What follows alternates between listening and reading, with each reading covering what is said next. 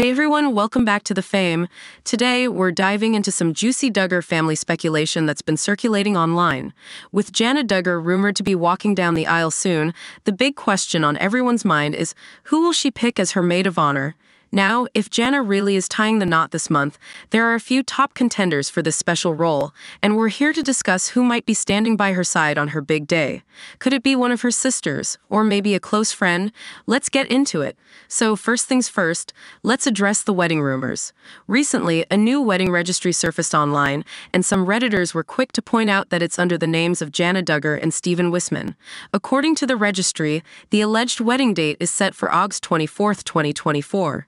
Of course, there's no confirmation yet, and we've seen plenty of fake registries in the Duggar world before. However, this one has people talking, especially after some eagle eyed fans spotted what looks like an engagement ring on Jana in one of her recent photos. Now, let's talk about the possible maid of honor. If Jana is indeed getting married, who might she choose to stand by her side? The obvious choices would be her sisters. Jessa and Joy.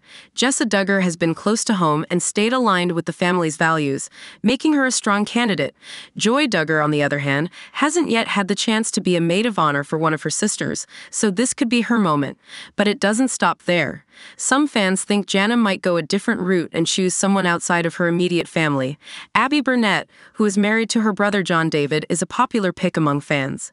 Then there's Laura DeMasie, Jana's longtime friend. Laura has been a constant presence in Jana's Diana's life, and many believe she would be a natural choice for the role. Of course, there's also speculation that Jana could go for something more modern. Some fans have even suggested that Jana might surprise everyone and choose her twin brother, John David, to stand by her side as a man of honor. In the Duggar world, this would be a bold move, but Jana has already defied expectations by remaining single well into her 30s, so who knows what she might do. So, what do you guys think? If Jana Duggar is indeed getting married this month, who do you think she'll pick as her maid of honor? Or could it be a man of honor? Will it be Jessa, Joy, Abbie, Laura, or even John David? Let us know your thoughts in the comments below.